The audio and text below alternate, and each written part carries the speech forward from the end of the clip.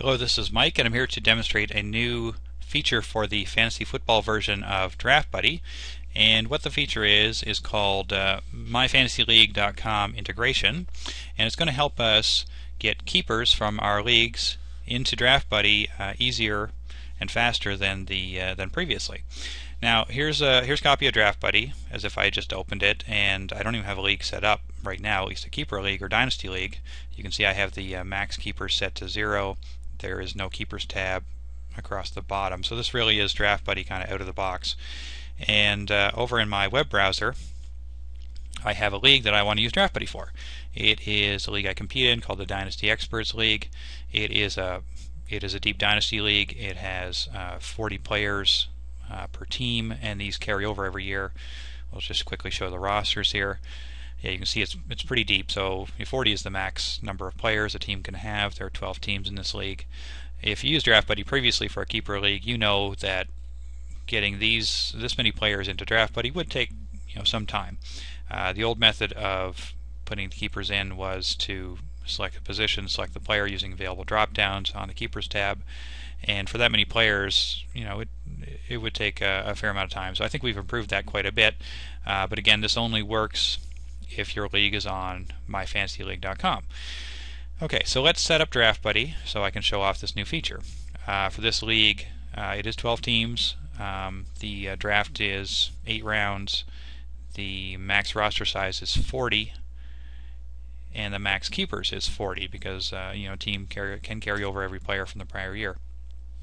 Now, normally for Draft Buddy, you would set up your scoring at this point. You'd set up your starters and backups, maybe put in the owners' names that type of thing.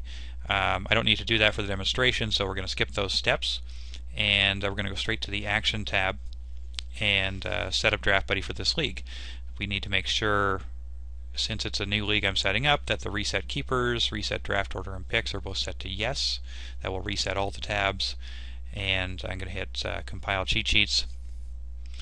It's going to run through this process, create new cheat sheets for us for this league, but also make the keepers tab visible, make sure it has enough spots on it for all our keepers, and adjust the other tabs appropriately for this league. Okay, so it uh, finished that uh, compiling.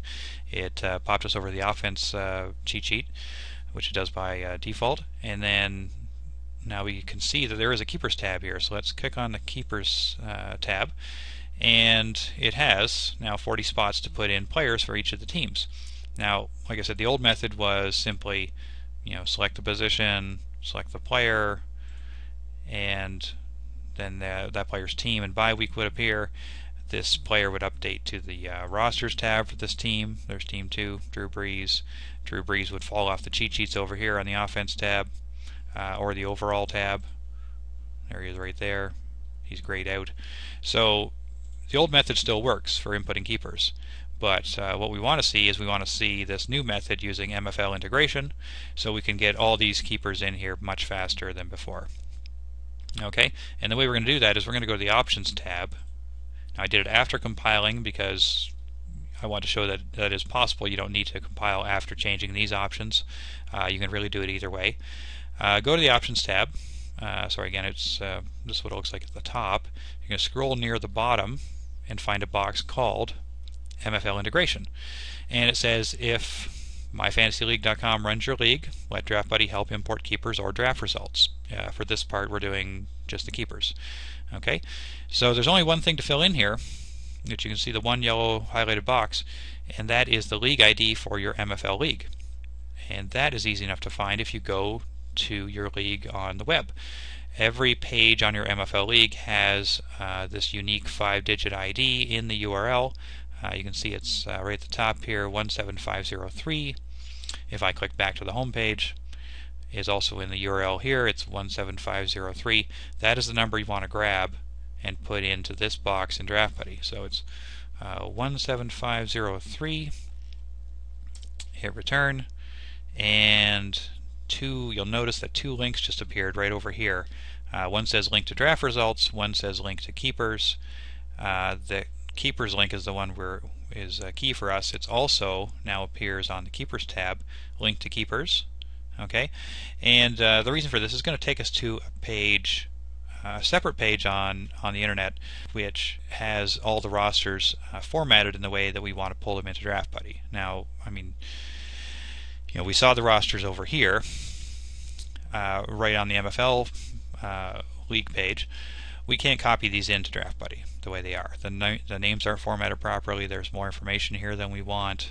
Um, so they aren't going to go into Draft Buddy very easily. It's not, you know, it's not going to be copying from here to to Draft Buddy. Uh, so what we created was a separate page which formats the player names just the way we want them and by team. So let me click on that link and it'll open up in the web browser. And here we go. Now we can see that you know it's got the same teams here. I scroll down a little bit and you can see there's 12 teams here and it's got the players for each team uh, in the format that we want. You know, it's got the position and the player name. All that's involved now is simply selecting these uh, players from each box and copying them into Draft Buddy. Uh, you have to do each team one at a time, and it is a copy paste back and forth. So, you know, a little bit of work, but not, you know, it's not going to take very long to to do that. I made the selecting fairly easy. Uh, you just have to click, uh, select the team you want, click the select keepers link here, okay, and it highlights all of them and then Control C or Command C on a Mac to copy. Go over to Draft Buddy and find the team that that goes to. Let's I didn't put the team names in again, but let's say football guys. If I wanted the team two slot, uh, I'm going to go Control V, and there we go. Okay, they're into Draft Buddy. It doesn't show the team and bye week yet. Okay, now showing an error here because I've got Drew Brees here. Okay, we delete him out. That's gone.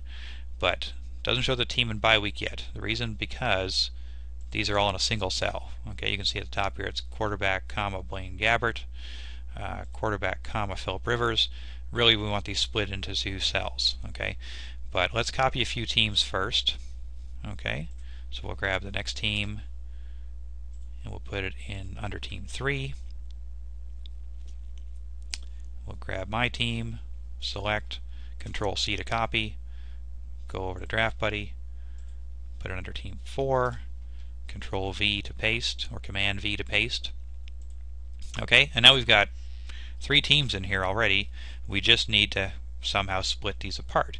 And that's what this button at the top is. It says Clean Keepers copied in via MFL integration. Alright, all we need to do is uh, click this button.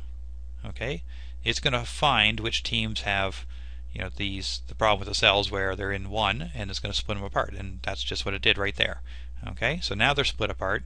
Now we're seeing the team and, and bye week. So all these players are now input in draft buddy just like that. They again should be on the rosters tab. There we go. Okay they are going to be knocked off the cheat sheets. Now we see a lot more gray. Okay a lot more players are taken. All right and uh, for the rest of them we just need to do the same thing for the other nine teams. You know, scroll down here, select another team, highlight it, uh, click Control C to copy, go back to Draft Buddy, put it in, and Control V.